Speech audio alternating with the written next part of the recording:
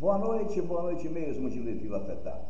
Meus amigos, minhas amigas, estou de volta neste 3 de agosto de 2023 para lamentar parte da imprensa daqui do estado de Minas Gerais e também parte da imprensa de São Paulo. Eles que se dizem jornalistas realmente estão de braços dados para enterrarem um currículo maravilhoso do Filipão. O Filipão, ontem, na entrevista, após o jogo Atlético 0, Palmeiras 1, realmente foi bombardeado. Eu vi o Filipão como se estivesse numa delegacia de polícia e que ele estivesse sendo acusado de algum crime. Perguntas indiscretas, perguntas que não tinha ética nenhuma para quem se identifica como jornalista. E o Filipão, com a sua experiência, respondeu algumas perguntas até com deboche. Pessoas que estavam ali o entrevistando, que nem, nunca chutaram a bola. Os senhores desculpa, mas essa expressão eu sempre uso aqui. Pessoas que estavam ali tentando irritar um profissional que tem história no futebol mundial, Aquelas pessoas que estavam ali se sentiam pequenas. Não só essas pessoas aqui de Minas, como lá de São Paulo, se sentiam pequenas pelo sucesso de um homem chamado Felipe Scolari. Ele não chuta em gol, ele não é goleiro, ele não é zagueiro, e ontem ele foi muito amigo dos jogadores do Galo. Vamos começar pelo gol. Uma jogada em câmara lenta, em que o Veiga chutou de longe. E tanto que o Everson sabia por onde a bola viria, que ele quase que pegou a bola. Mas mostra que o Everson não é mais aquele que treinava para ser convocado para jogar talvez a Copa do Mundo passada. Que culpa tem Filipão se o Hulk desaprendeu a jogar bola? Que culpa tem Filipão se o Paulinho é aquele jogador de uma jogada só, que não faz mal a ninguém, só faz cócega? Que culpa tem o Filipão que culpa tem Filipão se a bola bate na trave?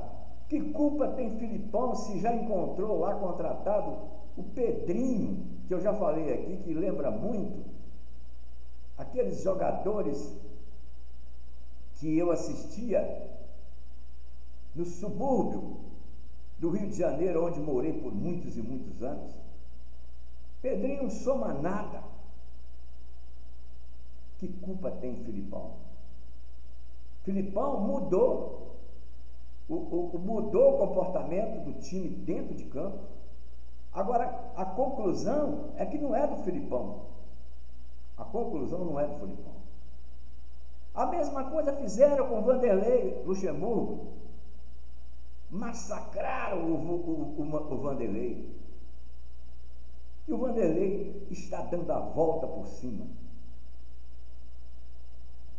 Estes mesmos que criticam hoje, mas criticam não com críticas construtivas e sim destrutivas, que criticam Filipão, são esses mesmos que preenchem minutos e minutos programas para simplesmente fo focarem essas mesas, essas mesas redondas que são quadradas, são as mesmas mesas que você encontra sábado, domingo, nos botiquins da vida, de pessoas sentadas bebendo, bebendo, que não entendem nada de futebol, mas são torcedores, têm o direito de se divertir. A mesma coisa, mas acontece que eles levam para um estúdio de, de, de, de, de televisão ou de rádio e ficam lá faturando. Ainda tem um determinado senhor na Jovem Pan que toda hora ele segura o cabelinho dele e quando ele é chamado a falar, parece que é o dono da cocada branca. Olha, por favor, o que, que você acha, fulano de tal? Eu não vou nem citar o nome dele, que não é jornalista. E quem mais? Você que é torcedor do Galo, você que é torcedor dos clubes mineiros, preste bem atenção. Quando toca no futebol, sobre o futebol mineiro, ele quer simplesmente colocar no fundo do poço. O que ele falou hoje sobre a administração do Galo é vergonha para quem se identifica como jornalista. Jornalista não é isso não. Jornalista é para informar e não opinar o que fulano ou Beltrano deveria fazer. Isso aí não é jornalismo, não. Isso aí é, é programa de fofoca. Programa de fofoca. Porque eu estou voltando aqui porque eu fiquei realmente pasmo ao assistir essa mesa redonda que é quadrada lá de São Paulo, na Jovem Pan. O que esse senhor da pastinha Falou sobre o galo? Falou sobre galo? Não, falou do galo. Porque falar sobre o galo é verdade, falar do galo é mentira. E você, que gosta de ficar de duas em duas horas assistindo aquele, aquela baboseira lá, eles se consideram dono, donos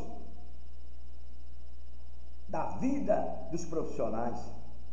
A mesma coisa aconteceu com o Luxemburgo. Luxemburgo começou a dar uma aula nas entrevistas a partir do momento que o Corinthians foi melhorando.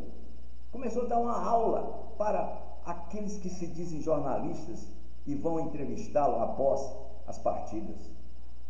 E ontem o Filipão fez muito bem.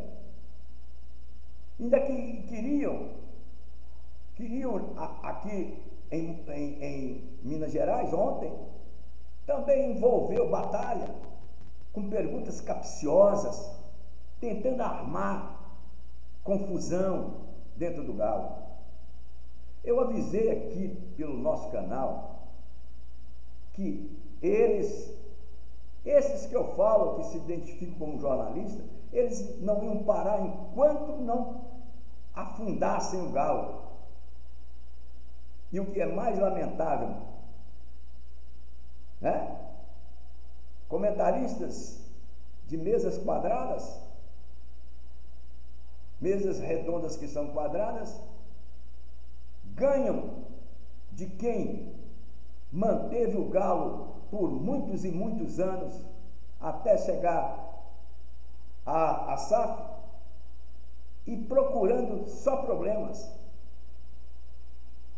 São aquelas, aquela mesma turma que não deixou o Turco trabalhar, não deixou o Cuca trabalhar, não deixou o Cudê trabalhar e agora elas não querem deixar o Filipão trabalhar. Aí eu pergunto, qual é o jogador de futebol que é otário? Se o jogador de futebol vê pessoas ligadas a um, uma organização que também é legada ao Galo. Criticarem. Vamos pensar o quê? Deixa para lá. A emissora vai continuar no mesmo lugar, mas eles, eles vão andar. Eles vão sair, vão para outros clubes. E é o que está acontecendo, por exemplo, com o Hulk. O Hulk está muito insatisfeito. Só quem entende de futebol pode afirmar isto, e eu afirmo. O Hulk está muito insatisfeito com tudo que está acontecendo.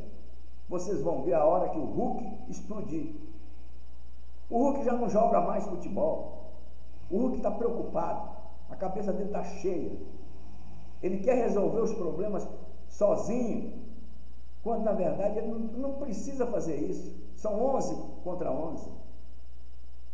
E o Hulk, completamente perdido dentro de campo.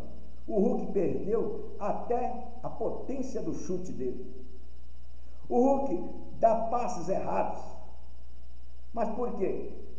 É exatamente a falta de um comando, a falta realmente de um comando. E afinal de contas, a imprensa, ela existe para informar e não para complicar. É lamentável.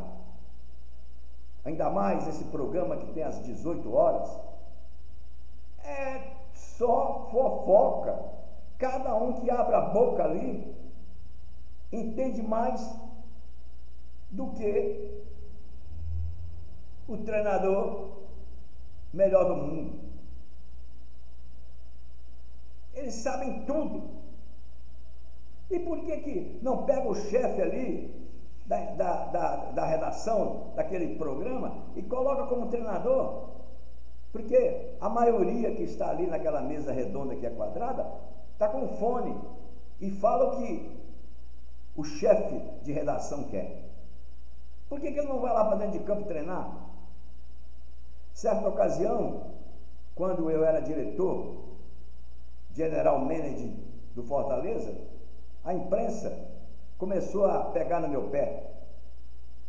Então eu convidei aqueles tipo que trabalham na Jovem Pan, que trabalham no bate-bola, convidei para que eles fossem passar lá uma semana para assistirem os treinamentos. E que ao final de uma semana eles iriam para campo para dar treinamentos, para ver o que, que eles aprenderam. Não apareceu nenhum. Nenhum. Tinha um programa lá que se achava o dono da cocada branca, que qualquer contratação que fosse avisada que seria feita, eles entravam, porque era também uma mesa redonda quadrada, em contato com o procurador do jogador e dizendo: Ó, oh, aqui só vinga se pingar alguma coisa aqui no meu Pix, que naquela época já existia até Pix. Perfeito? Então, meus amigos, jornalismo não é isso não. Então estou aqui em defesa do bom futebol e em defesa do futebol mineiro.